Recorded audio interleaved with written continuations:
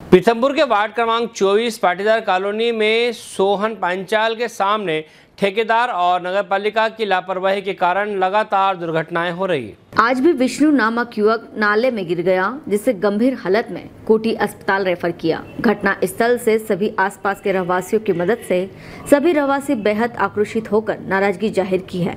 नगर पालिका के कार्यशैली से विद्यार्थी परिषद के छात्रों ने जोन प्रभारी को ज्ञापन भी सौंपा और गुलाब का फूल दिया।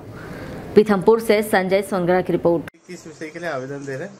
आज हम आवेदन दे रहे हैं जो मोती नगर में आधी निर्माण पुलिया की गई है। वहाँ पर क्या हर 10 से 15 दिन में हादसे होते हैं?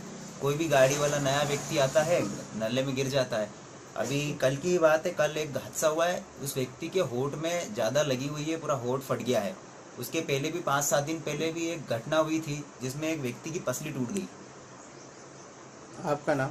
मेरा नाम उज्जवल जैन है और मैं अखिल भारतीय विद्यार्थी परिषद से नगर मंत्री के दायित्व में काम करता हूँ, साहब। हेलो फ्रेंड्स आप देख रहे हैं हमारा channel S W twenty four news हमारे सारे वीडियो सबसे पहले देखने के लिए आप हमारे चैनल को सब्सक्राइब करें और पास में लगे बेल आइकोन को दबाना बिल्कुल भी ना भूलें।